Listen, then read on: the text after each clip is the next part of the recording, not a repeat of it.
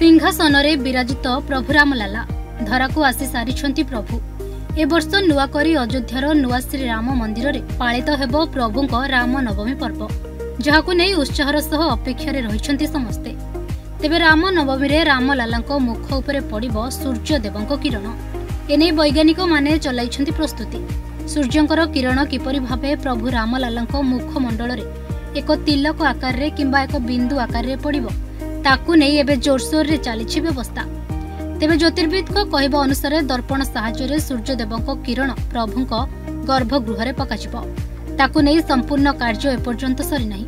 ବିଭିନ୍ନ ପ୍ରକାରର ଦର୍ପଣ ସାହାଯ୍ୟରେ ଏହାର ଟ୍ରାଏଲ୍ କରାଯାଉଛି। ଏହା କେମିତି ସଠିକ୍ ଭାବରେ କାର୍ଯ୍ୟକାରୀ ହୋଇପାରିବ ତାକୁ ନେଇ ମଧ୍ୟ ପ୍ରସ୍ତୁତି ଚାଲିଛି। ରାମ ନବମୀ ପୂର୍ବରୁ ଏହା ଉପରେ ଚାଲିଛି ଟ୍ରାଏଲ୍ ରନ୍। ବୈଜ୍ଞାନିକମାନଙ୍କ ସହ ଟିମ୍ ଏ କାର୍ଯ୍ୟକୁ ସଫଳତାର ସହ କାର୍ଯ୍ୟକାରୀ କରିବାକୁ ପ୍ରୟାସ ଜାରି ରଖିଛନ୍ତି। Bureau report news eight Odia